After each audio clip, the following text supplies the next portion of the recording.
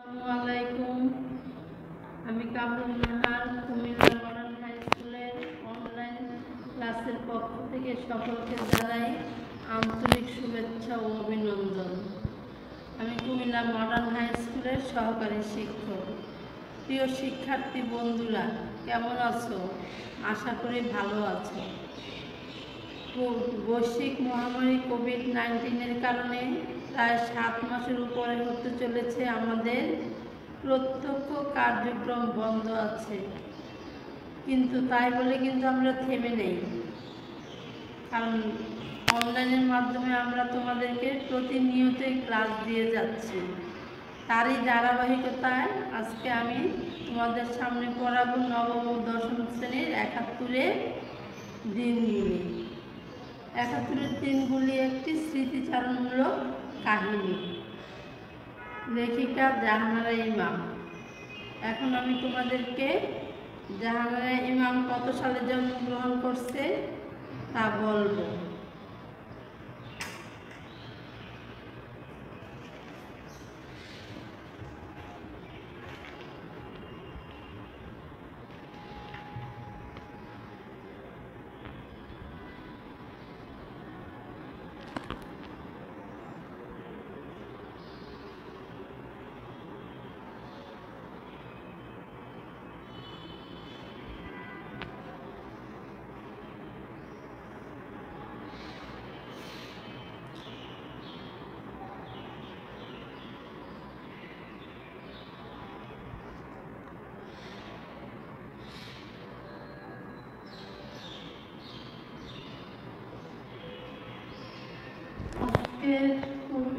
যা পড়ব তা হচ্ছে উনিশশো একাত্তরে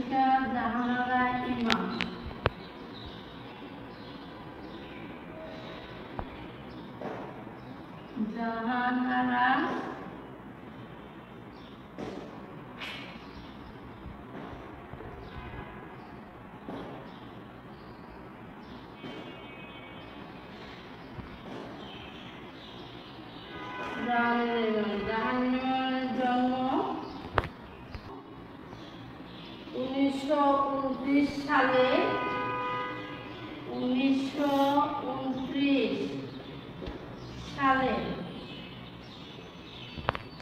উনিশশো উনত্রিশ সালে মুর্শিদাবাদের সুন্দরপুর গ্রামে মুর্শিদাবাদের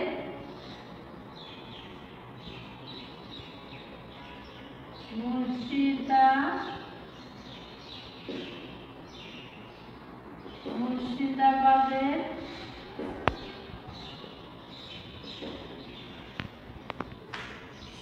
ফুল।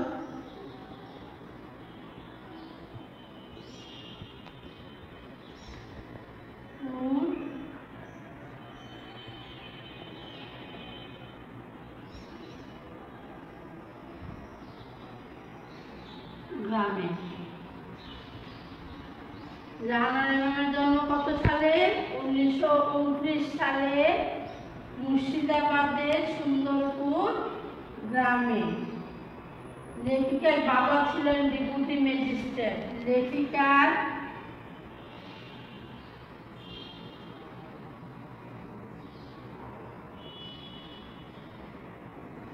লেখিকার বাবা ছিলেন লেখিকার বাবা ছিলেন deputy magistrate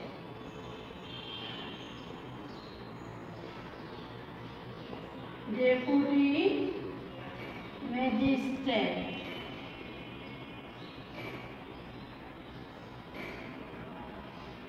deputy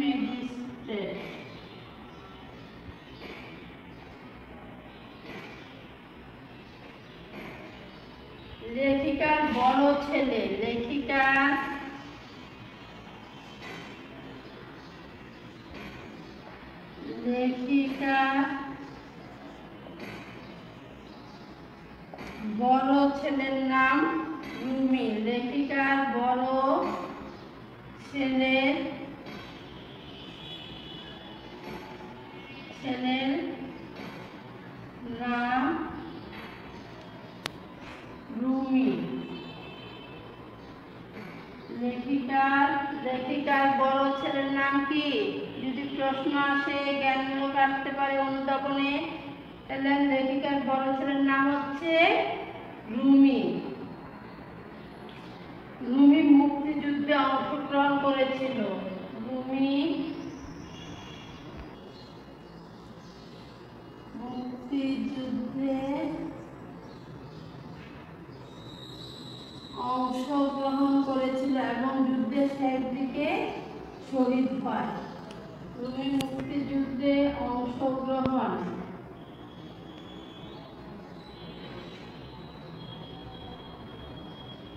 অংশগ্রহণ করে ছিল এবং যুদ্ধের শেষ দিকে শহীদ হন।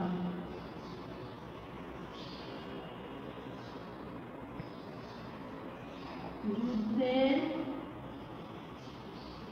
শেষ দিকে শহীদ হন মৃত্যু হয় উনিশশো চৌরানব্বই সালে। জাহানের মৃত্যু কত সালে হয়? উনিশশো মৃত্যু হচ্ছে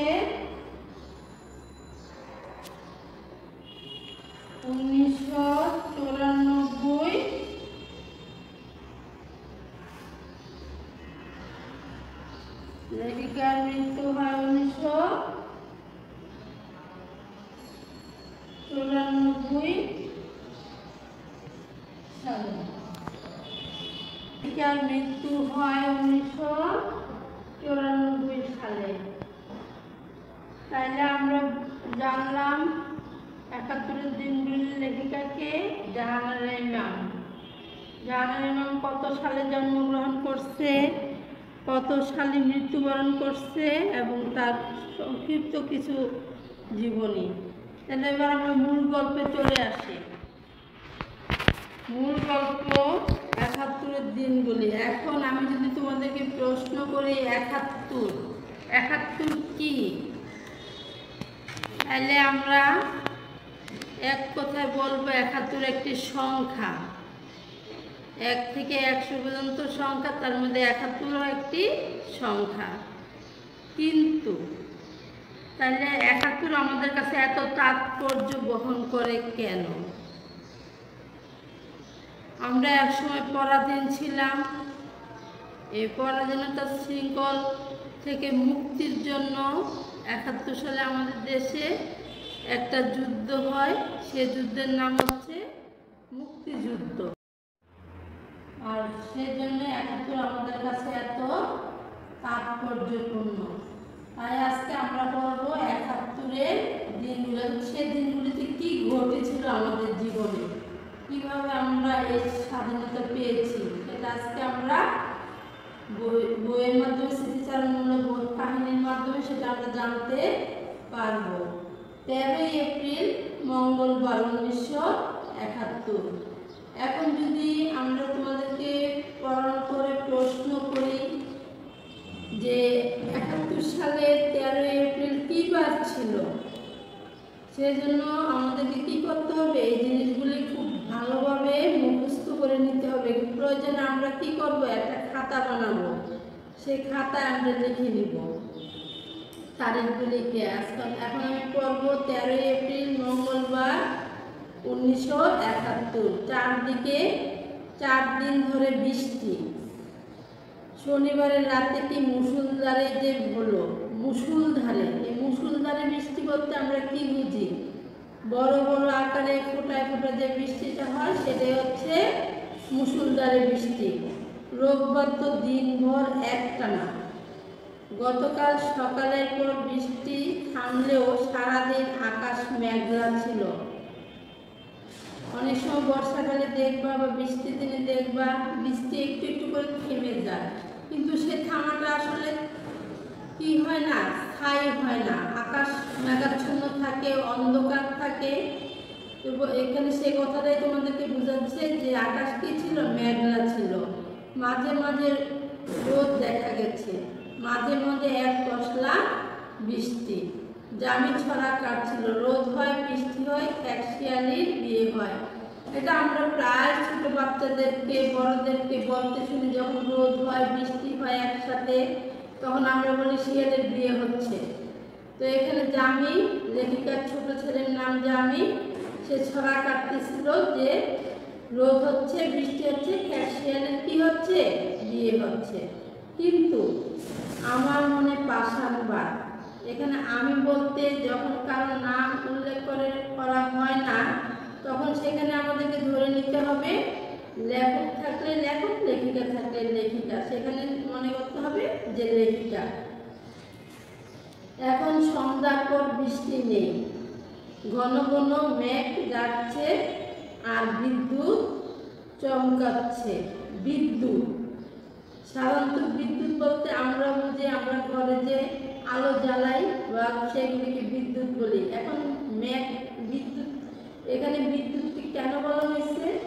বলা হয়েছে যখন বিদ্যুৎটা আকাশের থেকে মাটিতে আসে, তখন সেখানে আলো ছড়ায়। সেই জন্য এটাকে বিদ্যুতের সাথে তুলনা করা হয়েছে। বসার ফলে বসে দিয়ে তাকে ভাবছিলাম, আমার জীবনে, জীবনেও এতদিনে সত্যি সত্যি দুর্যোগের মেঘ ঘন হয়ে আসছে। এরকম সামনে এরকম সময় করিম এসে ঢুকলো। ঘরের সামনে সোফায় বসে বসল। কুকু যান এ পাড়ার অনেকে চলে যাচ্ছে বাড়ি ছেড়ে। আপনারা কোথাও যাবেন না? এমন সময় লেখিকার কাছে আসলো। তার ভাইয়ের ছেলে বলল যে, ফুফু, আপনি কোথাও যাবেন না। এই এলাকার সবাই তো কী করছে? বাড়ি ছেড়ে চলে যাচ্ছে। কোথায় যাব? অন্ধ বুড়ো শ্বশুরকে নিয়ে কেমন করে যাব? কিন্তু এই পাড়ার ছেলের লোকে যাচ্ছে কেন? এখানে তো কোনো ভয় নেই। প্রথমে লেখিকা বলল যে, আমার শ্বশুর অন্ধ, আর এই অন্ধ শ্বশুরকে নিয়ে আমি কীভাবে যাব? কিন্তু পর মুহূর্তে আবার বলল যে এই এলাকা তো নিরাপদ। তাহলে এই এলাকা তো ভয়ের কিছু নেই। তাহলে এই এলাকা ছেড়ে লোক যাচ্ছে কেন? নেই মানে পেছনে এত করে পেছনে এত কাছে বিশ্ববিদ্যালয়ের হলগুলো। তখন করিম বলল যে, এখানে তো অনেক বিশ্ববিদ্যালয় আছে, সেজন্য হয়তো লোকে ভয়ে পালিয়ে যাচ্ছে। হল তো সব খালি, বিরান।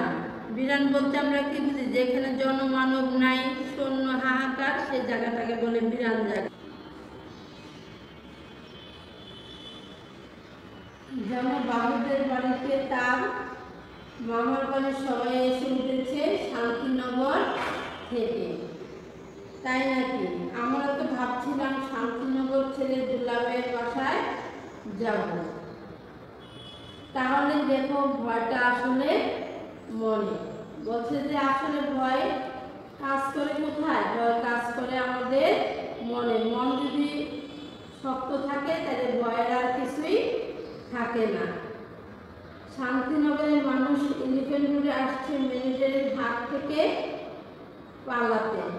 আবার তুমি এলিফেন্ট রোড থেকে শান্তিনগরে যেতে যাচ্ছ নিরাপত্তার কারণে, অর্থাৎ একজন শান্তিনগর থেকে এলিফেন্ট রোডে আসবে আর একজন এলিফেন্ট রোড থেকে শান্তিনগরে যাবে। কি জন্য? মিলিটারির হাত থেকে বাঁচার জন্য। এই জন্যই বলছে যে ভয়টা আসলে কোথায়? ভয়টা আসলে মনের মধ্যে কাজ করে অন্য কোথাও না যুক্তিটা বুঝে করে মাথা নাম আসলে যা কপালে আছে তা হবে আমরা যতই বলি, ভাগ্য আমরা পরে মানি, কিন্তু আগে তো আমরা অনেক ধরনের মন্তব্য করে নিই। কিন্তু পরে দেখা যায় যে ভাগ্যটাকে আমরা মেনে নিই। এটি বলা হচ্ছে আসলে যা কপাল আছে তা হবে নইলে দেখেন দেখেন, ঢাকার মানুষ খামাকা জিঞ্জিরা গেল গুলি খেয়ে মরতে। বলছে যে ঢাকার মানুষ কোথায় গেল? গুলি খেয়ে মরতে জিঞ্জিরায় আরও একটা কথা শুনেছেন বুঝলা নদীতে নাকি প্রচুর লাভ বেসে যাচ্ছে। পেছনে হাত বাঁধা গুলিতে মরা লাশ। একাত্তর সালে মুক্তিযুদ্ধের সময় আসলে মানুষকে দাফন করার মতো তেমন কোনো অবস্থা ছিল না মানুষের। তখন কি করতো মিলিটারিরা গুলি করে মেরে নদীতে ফেলে দিত। বা এক জায়গায় অনেককে গর্ত করে, অনেককে গর্ত করে কি করতো? পুঁতে ফেলতো।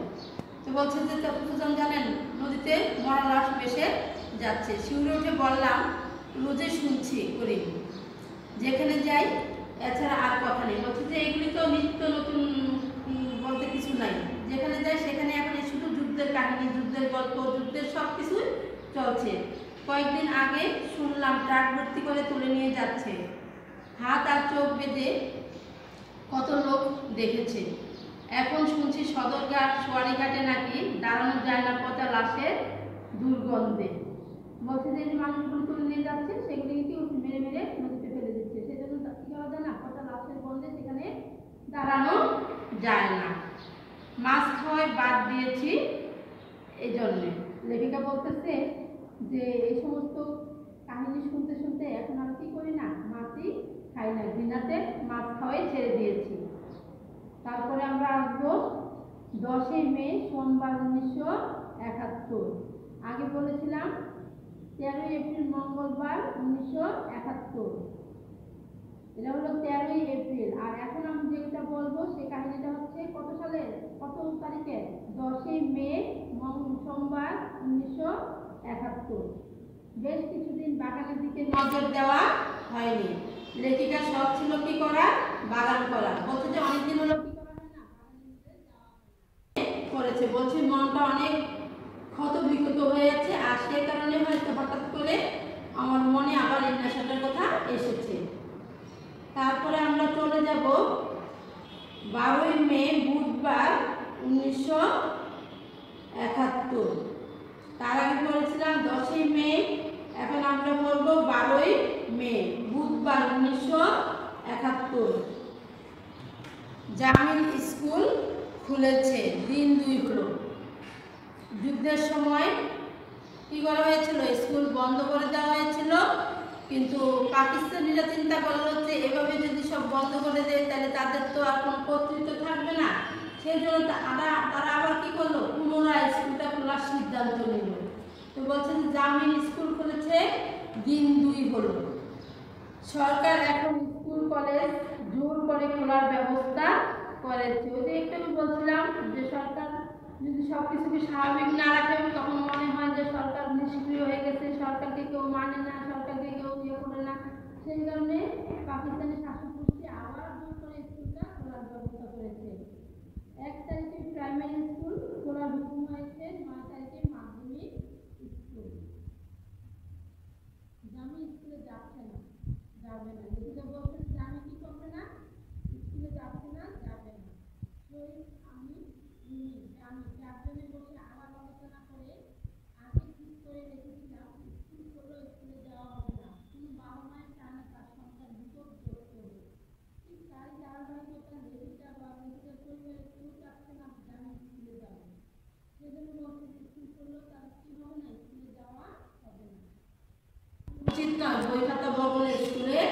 যাওয়া। বলছে যে এত ভয় ভীতির মধ্যে স্কুল স্কুল হচ্ছে আনন্দের জায়গা। সেখানে ভয় ভীতির মধ্যে স্কুল করা যাবে না। সেজন্য আমি কি করে নাই? বই খাতা ব- ব- কেউই স্কুলে যাওয়ার জন্য প্রস্তুত ছিল না। বলছে যে, এই অবস্থায় কোনো ছাত্রের উচিত নয় বই খাতা বগলে করে স্কুলে যাওয়া। জামি অবশ্য বাড়িতে পড়াশোনা করছে। এবার ও দশম শ্রেণির ছাত্র। তোমাদের অবস্থায় তোমরা যেমন দশম শ্রেণির ছাত্র ছাত্রী সেরকম জামিও দশম শ্রেণির ছাত্র ছিল যুদ্ধের সময়। রুমি যত, রুমি যতদিন আছে, একে সাহায্য করবে। তারপর শরীফার আমি যে যতটা পারি। বলছে যে রুমি যতদিন আছে, তখন ততদিন রুমি কি করবে? জামিকে পড়াবে। আর রুমি যখন চলে যাবে, তখন কে পড়াবে? তার বাবা এবং মা। জামিন তার দু তিনজন বন্ধুর সাথে ঠিক করেছে। ওরা একসঙ্গে বসে আলোচনা করে পড়াশোনা করবে। জামিন তার বন্ধুদের সাথে আলাপ করছে, তারা একসাথে বসবে, একসাথে বসে, কারণ একজন যা জানে, একজনের মত আর তিনজনের মত এক হতে পারে না, তিনজনের মত তিন রকম। সেজন্য তারা তিন চার বন্ধু মিলে কী করবে? একসাথে পড়াশোনা করবে। এটা বেশ ভালো ব্যবস্থা। পড়াও হবে, সময়টাও ভালো কাটবে। কারণ একা একা একাকিত্ব, সেজন্য তিন চারজন যখন একসাথে থাকে, তখন সময়টা ভালোভাবেই চলে যায়। বলছে যে পড়া হবে, আবার গল্প গুজব করে সময়টাও ভালো কাটবে। অবরুদ্ধ, নিষ্ক্রিয়তা এরা হাঁপিয়ে উঠবে না। তারপরে আমরা চলে আসব সতেরোই মে, সোমবার উনিশশো একাত্তর। আমি তোমাদেরকে আবারও বলি, তারিখগুলি তোমরা খাতায় লিখবে। খাতায় লিখে মুখস্থ করে নেবে। এগুলি আমাদের অনেক প্রয়োজন হবে। জ্ঞানমূলকের জন্য এবং বহু নির্বাচনের জন্য। রেডিও টিভিতে বিখ্যাত ও পদস্থ ব্যক্তিদের ধরে নিয়ে প্রোগ্রাম করেও কর্তাদের তেমন সুবিধা হচ্ছে না। তাই এখন বুদ্ধিজীবী ও শিল্পীদের ধরে ধরে তাদের দিয়ে খবরের কাগজে বিবৃতি দেওয়ানোর কূট কৌশল শুরু হয়েছে। বলছে যে রেডিও টিভিতে বড় বড়, বিখ্যাত লোকদেরকে কী করতেছে? ধরে ধরে নিয়ে বিবৃতি দিতেছে। কিন্তু তাতেও তাদের কী হচ্ছে না? শান্তি হচ্ছে না। আজকের কাগজে পঞ্চান্ন জন বুদ্ধিজীবী ও শিল্পীর নাম দিয়ে এক বিবৃতি বেরিয়েছে। ঢাকা বিশ্ববিদ্যালয়ের কোনো টিচার রেডিও টিভির কোনো কর্মকর্তা ও শিল্পীর নাম বাদ গেছে বলে মনে হচ্ছে না। লেখিকা বলছে যে, সব উচ্চ পর্যায়ের লোকদেরকে ধরে ধরে এনে কী করছে? তাদেরকে যে বিবৃতি দেওয়া হচ্ছে, অর্থাৎ দেশ স্বাভাবিক আছে, দেশ ভালো চলছে, দেশ দেশে কোনো সমস্যা নেই, এ জাতীয় জিনিস। এদের মধ্যে কেউ কেউ সানন্দে এবং সাগ্রহের সই দিলেও বেশিরভাগ বুদ্ধিজীবী ও শিল্পী যে ব্যানিটির মুখে সই দিতে বাধ্য হয়েছেন, তাতে আমার কোনো সন্দেহ নেই। আমাদের সমাজে অতীত, বর্তমান, ভবিষ্যৎ, অতীতে যেমন মির্জাফরদের মতো লোক ছিল, বর্তমানেও আছে, ভবিষ্যতে জাতীয় কিছু লোক থাকবে যারা সব কিছুর সাথে যে হাত মেলায়। কিন্তু এমন কিছু লোক আছে, দেশকে ভালোবাসে, দেশের প্রতি ভালোবাসা থাকে। তারা কখনোই যে পর- পরদেশীদের সাথে কি করবে না, হাত মিলাবে না।